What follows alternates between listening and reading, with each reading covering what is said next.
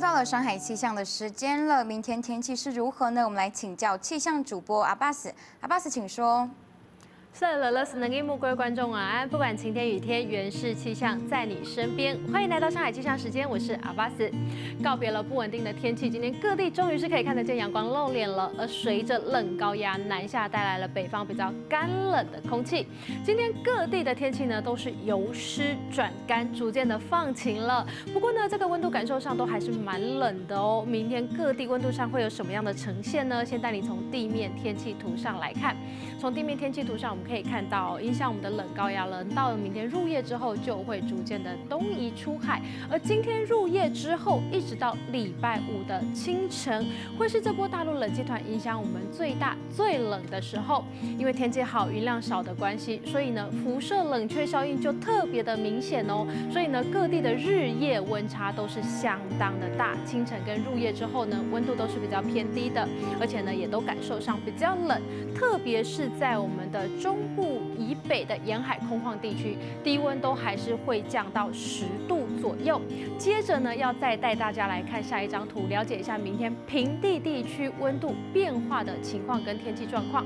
从这一张图上，我们可以看到，明天各地呢都是晴到多云的天气。在我们的北部地区呢，温度会落在十三到二十一度。另外，在我们的宜兰地区呢，温度会有十二到十八度，花莲十五。到二十度，而在我们的台东呢是十五到二十二度。另外，在我们的中部地区，温度就落在了十一到二十二度，南部十二到二十四度。这个中南部地区呢，日夜的温差是比较大的，都会超过十度。而另外要特别提醒的是，高海拔的山区气温都还是比较冷的，低温都会降到十度以下。而至于原乡部落详细的天气资讯，再带您来看为您整理的山海气象。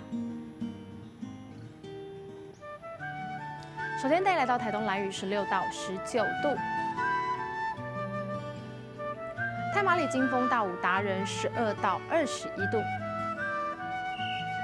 延平台东卑南十一到二十一度，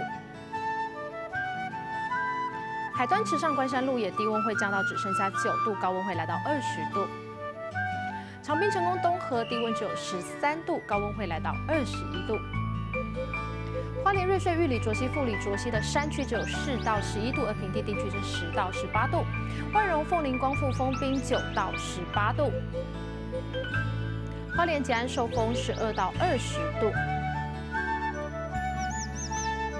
泰鲁阁族人居多的秀林跟新城十一到二十度。再往北走，来到宜兰的大同，只有六到十五度，温度是比较冷的。接着再往南，我们来到屏东的狮子牡丹满洲，低温会降到十四度，不过白天高温会来到二十度。太武来义春日呢，低温都只有十二度，高温会来到二十一度。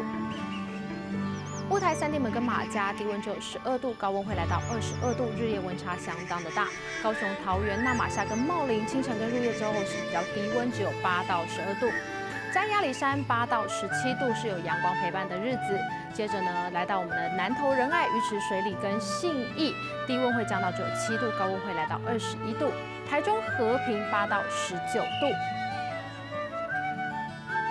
苗栗南庄石潭泰安八到十八度，日夜温差也都是比较大的。接着来到新竹的关西坚石五峰有六到十九度。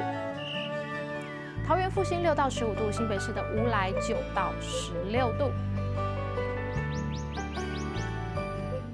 天气虽然冷，不过呢有阳光陪伴，其实感受上其实是比前几天还要舒服的。不过要我们要提醒观众朋友了，各地的日夜温差变化都是相当的大。如果家里有长者或者是婴幼儿，或者是您本身有心血管疾病的观众朋友，要多加留意温度上的变化。而这一波影响我们的大陆冷气团呢，预估到了礼拜五就会逐渐的减弱，各地的气温会慢慢的回升，而这个晴朗的好天气呢，会一直持续到礼拜六。